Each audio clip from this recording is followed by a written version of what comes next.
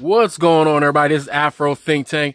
This video is for all the people who donated to the solar power water borehole system for the community. I'm just, you know, I'm just giving you the videos of what's happening. You'll see in the video that the water's coming out. We put the water bowl, we put the, the water storage on top. Now the water storage and the thing, the tower that we're building is actually further within my land, right? And we're running pipe through a trench to the front where the borehole is. So the, the water storage, where, where the water storage is going to go, where it is, is not where the borehole is. The borehole is in the front where y'all saw when we had the truck dig in. That's where the borehole is. So you'll see the PVC pipe going through the trenches to the, um, to the borehole. And then there will be another PVC pipe because right where the borehole is going to be is where the platform where the five um, spigots or the five, you know, taps are going to be for people to utilize because it's better to put the borehole storage system a little further in on my land. So you ain't got to worry about it um, being affected by the, the power line. Because if y'all remember my other videos, where they'll be collecting the water by the road, there's a power line right there. And we don't want have any situation to where the power line comes down, affects that, knocks anything over. So it's safely in the back. Plus, ain't nobody gonna be walking on my lane, touching up on my, you know, the boat, you know, the, the water storage, you know, so it's safer back there. And so that's what you'll see. You'll also see there's a tap by the borehole system too, you know, just in case we need to, you know, run water directly by the storage. So there's a tap by the storage, which you'll see in the video. You'll see the water come out. So you'll see everything's running. We got the generators on right now, testing to make sure the water and everything's running smooth. And the last thing we got to do is put the, the um, solar panels on top and then run another PVC pipe uh, from the borehole to the to the um the platform which everybody's going to be able to get their their water out of. So that'll be a separate pipe. I think they're going to use the same. They probably use the same um, trench. So you'll see the trench is open because another pipe needs to be ran, so that you know since it's so far from the borehole, the water storage. That way, when the water is filled, the the storage will also they'll be able to use that to get the water out of it too. So I think it's a two prong system. We didn't even put the the new um the new pump in there yet. That'll be one of the last things we do because that pump, remember, goes with the solar panel. So that's what we got going on. Just want to keep y'all abreast of what's happening because it's your money. All right, your money. You need to know where your money's going. You know what I'm talking about?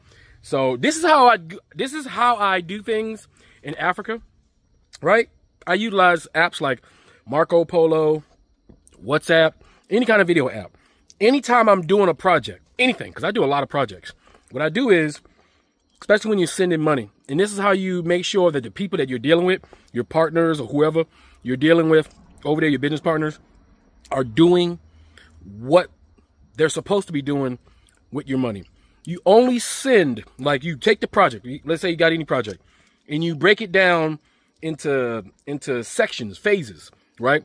Only send the money each phase.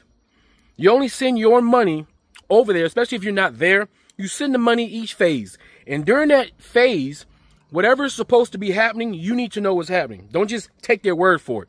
You need to let them know, I need video, ed- I need to see the work done as if I'm there, right? So anytime I'm getting something done, first phase, I need to see first phase happening.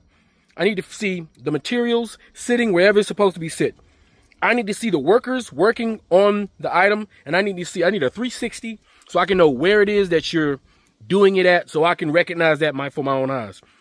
I need to see whatever the, process, and before we get to the second phase, before I send money for the second phase, I need to see first phase complete with my own eyes if it's I was there, right? This is the best you can do if you're doing any project remotely.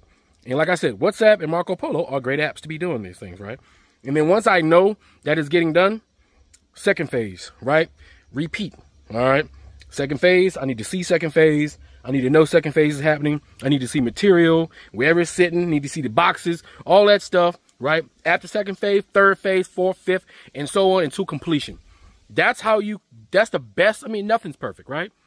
But at the same time, as long as you do your best, your best to be very observant from wherever you are and do your due diligence, you have to be anal when you're sending money to people, no matter who, I don't care if it's your sister, your brother, because you, how many stories have y'all heard of Africans sending money to their sisters, to their brothers, to their mamas, to their fathers to build them a house, to build them a compound. And they don't do any kind of like, any kind of follow up. They just send money, just hoping and praying and wishing and assuming that the people that's supposed to be closest to them are doing what they say with the money. Then they go and fly home, right? And then find out their parent, their family members have been blowing their goddamn money, right? Built absolutely nothing and screwed them over. All right. I refuse to be that kind of victim, right? And nine times out of 10 is because these people trusted their family members to do something in its completion without verifying, without checking, without following up. I would never do that. I don't care how much I love you. Trust but verify. All right. Trust but verify. I don't care if it was my kids. I don't trust you, Slim. All right. That's just what it is. I need to see that shit. All right. I don't trust myself. I got. I got shit. If I'm doing it, I need to verify that shit with myself. That's how I roll. You got to be like that if you want to do anything remotely. That goes for if you're doing something in the Caribbean, because y'all could be building something in the Caribbean and be in America because you got to work, make the U.S. money, right? You take that money, you flip, you you you leverage it somewhere else where your money goes further to build something that you couldn't build back in America, right? But you the, you have to be anal. You have to hey, give me video. I want to see video. Everybody got a phone. Ain't no goddamn excuses. Goddamn it. All right. Even if it's a contract, take a picture. Let me see that shit. Go like this. They may not be experts on using the camera, but it don't matter. You're going to show me that you did what I told you to do with my money. Period. All right. And that's before they get their portion. And that's just how it is. All right. So without further ado, that's what's in the video. I just want y'all to check this out as I am having you guys follow along as the last leg of this thing. All right. Anyway, that's all I got to say. It's Afro Think Tank. Learn some, teach some. I'm out.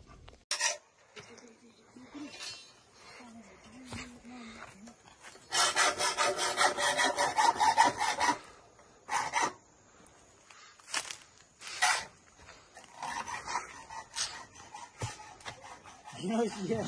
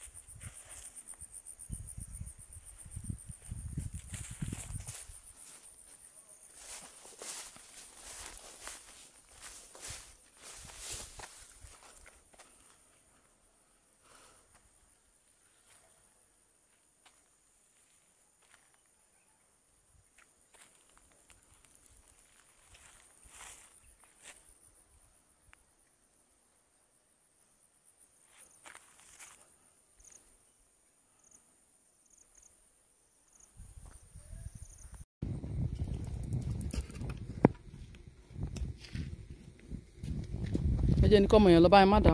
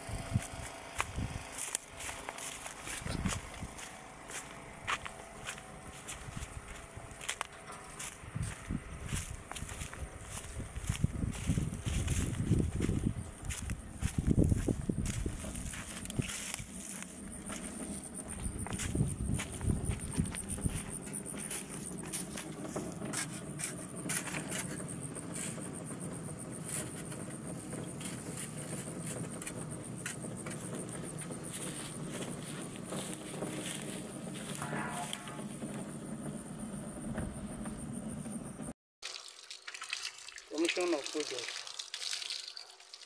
Commission of Project.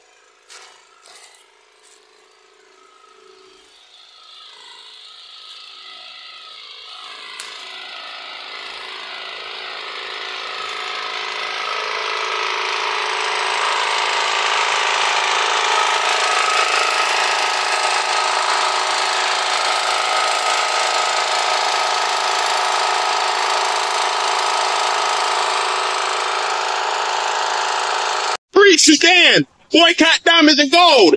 Free Sudan! Boycott diamonds and gold! We most definitely cannot forget about the people of Sudan! Thanks for watching Afro Think Tank. Don't forget to like, share, and subscribe. And follow me on Substack and Patreon for more content. Remember, it's Pan Africanism or nothing.